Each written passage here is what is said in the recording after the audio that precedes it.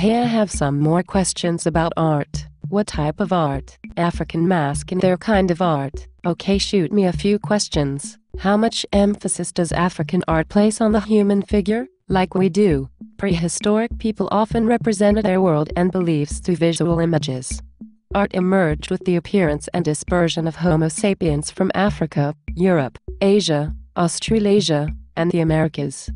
Paintings, sculptures, engravings, and later pottery reveal not only a quest for beauty but also complex social systems and spiritual concepts.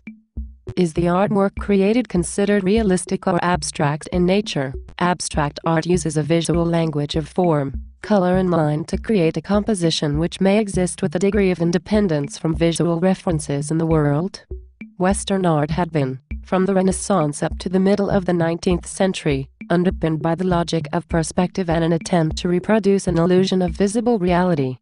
The arts of cultures other than the European had become accessible and showed alternative ways of describing visual experience to the artist.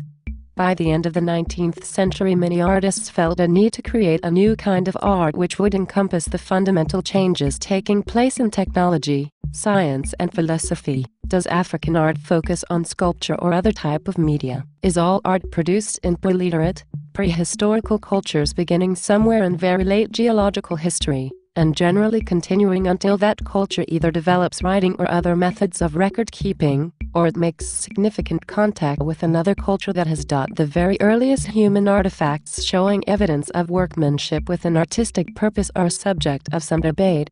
It is clear that such workmanship existed by 40,000 years ago in the Upper Paleolithic era. From the Upper Paleolithic through the Mesolithic, cave paintings and portable art such as figurines and beads predominated with decorative figured workings also seen on some utilitarian objects. Does African art created to be a static object? If so slash not why is this so? African art had a very different function and a very different way of life from that of European or Western culture. To begin with, it was an integral part of an all-pervading religion. Individual images were representatives, at times even embodiments, though not idols, to be worshipped, as many Europeans mistakenly used to think of the vital forces believed to exist in all living matter. Often these images spoke for the spirits of the dead, thus perpetuating the vital essence of tribal ancestry and becoming identified with the ancestral spirits. Although there are secular aspects to most of the forms used, and some artistic objects are purely decorative and ornamental, in general, African tribal artifacts were created as religious art, for a particular ritual or ceremonial use.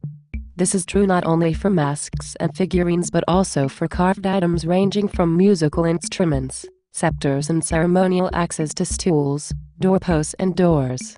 Although the individual craftsman or artist might be recognized,